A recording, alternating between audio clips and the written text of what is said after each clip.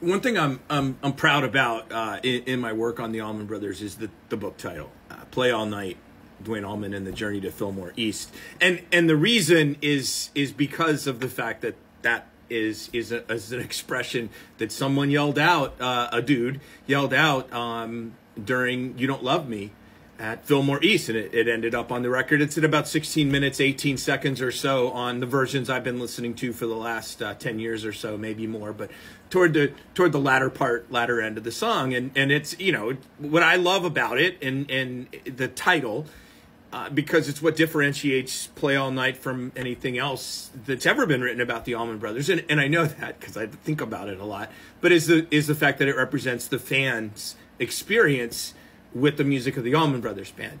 And what's really interesting to me um, as I think about this, you know, a lot, and and I know that enough of you enjoy it because I get lots of responses from this or over on my blog at uh, Long Live the ABB, and um, it's all uh, uh, people dig it. So I, I'm just going to keep on talking about it because honestly, I'm just really sorting shit out for myself. But as I mentioned, the thing about the book that I'm proud of is the fact that I used a ton of sources that were from fans, and a lot of times it was just everyday people who were writing. A lot of times in college newspapers, even sometimes in high school newspapers. Um, you know, rock journalism, criticism, etc., was very, very, very new in the in the latter part of the 1960s as the Allman Brothers Band were, were coming up, and they did have some very famous pieces written on them in the early era, and actually an infamous piece by Grover Lewis in Rolling Stone that ran right after Duane died. Um, uh, they had, they were featured in Creem, and you know they they had been featured by by writers, but but really, if you want to find out how uh, uh, um, how they hit, at least at least this is how I figured it out, was just to read the reviews, read what people said about um, their albums. So that brings me to today, which is uh, I post shit on social media all the time. It's on all the different channels, and I really don't do a deep dive into it anywhere else but here or over on the blog because I don't know, it takes a lot of time. But I just, you know, wanted to sort of, I wanted to share one today that, and I really want to get a little bit into detail on it. And, and, um, it gets to play all night, which is why I wanted to throw that out there. So pause just a second. I'm going to switch out and tell you what we're going to talk about today.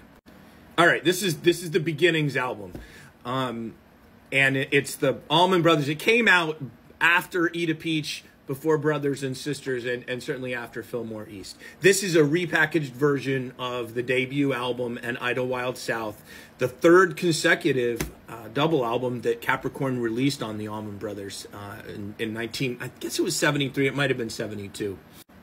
I don't know Gary McKee who's the author of, of this quote I'm about to say. But he wrote uh, a column called Earwax, kind of interesting, um, for the University of Nebraska Omaha paper called The Gateway. So this is an April 1973 review.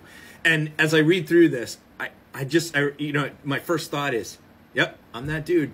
And turns out McKee is too, which you're going to see in just a second. And, and, and I bring this up because in this era, when folks were writing uh, certainly in the college newspapers and, and even the you know profession the professional journalists the professional critics um, there was a measure of fandom um, that that was uh, there uh, expressed, I guess is the best way to say it. I don't know that that, um, and as, as I'm saying this and I'm, I'm, processing, thinking out loud, is I'm realizing it. Perhaps that is one of the things that separates rock journalism or music journalism from some other other parts of journalism. I'm not a journalist though. I'm a historian, and what I'm looking at in the long tail of uh, of, of the Allman Brothers story, if you will, are are you know this is how one person, college student, is writing about the Allman Brothers Band now four years into their tenure and uh, what it means. I just found it very, very fascinating. Um, and you'll see at the end why uh, I brought Play All Night up.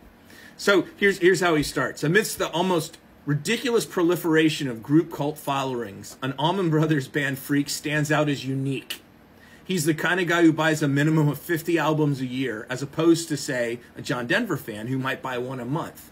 Chances are he's dug into the kind of music that the Allmans have derived from country and blues, country and Chicago blues, rather than sandwiches records between the latest copies of Slade and Uriah Heep.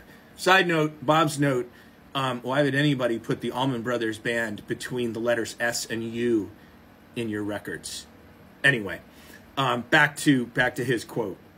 But the thing that grabs me about these freaks is the extent they get into this band's music. It goes beyond into just having copies of all of their albums. Some of these nuts can hum every guitar solo that Duane Allman or Dickey Betts ever turned out. Note, I am guilty, guilty as charged. And when a group of them get together to play records, they never fail to end the session with the Allmans. Nothing else will do. Ditto on that one, and that's a shout out to all my ABB brothers and sisters out there, all my homies. And this is what McKee says Alas, I am one such nut. If you're a true believer, you know what I'm talking about. If you haven't dug on him yet, this set that he's talking about beginnings is the perfect intro. I almost envy you the thrill of hearing them for the first time. And if you don't like this album, you better go down to the morgue and turn yourself in. And he finishes with this I keep remembering the cat in the crowd on the Allmans Live album, who, during one of Duane's solos, yelled out, Play all night! All I can add to that is, Amen.